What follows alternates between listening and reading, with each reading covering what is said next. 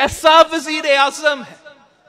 ये कैसा वज़ीर आज़म है जिसको अपने वज़ीर आज़म होने का बीवी से पता चलता है और रुपया का गिरने का टीवी से पता चलता है?